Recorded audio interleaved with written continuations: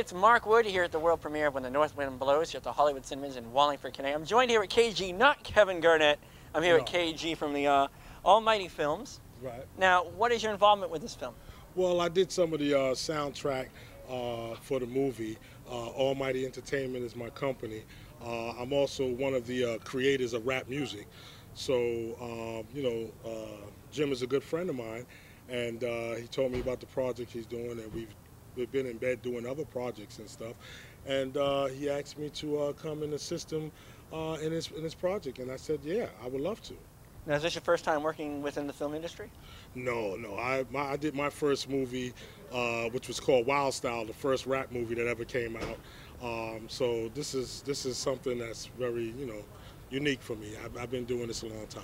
Now, did you have a chance to go out and set and see them making the film at all, or No, just you got to put the last edit after?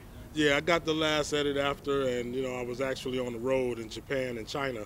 So uh, you know Jim had sent me the. Uh, this, the, the film and uh, I looked it over and I said, yeah, I can write you some stuff for it, and that's what happened. So I noticed you said you were the first inve- uh, creator of rap music. Yes. So explain to us a little bit about that. Well, you know, I started that back in '71.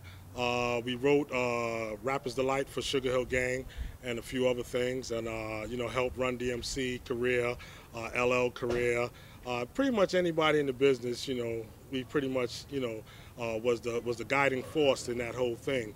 So, um, so now, you know, 30 odd years later, uh, you know, we're still in the game. We're doing a lot of different things. Um, right now, I have a new label, which is Almighty Entertainment. Um, and uh, we have a lot of different things from pop, country, uh, metal, uh, rap, dancehall, pretty much you name it, we have it, uh, and things of that nature. So that's what's been going on on, on my end.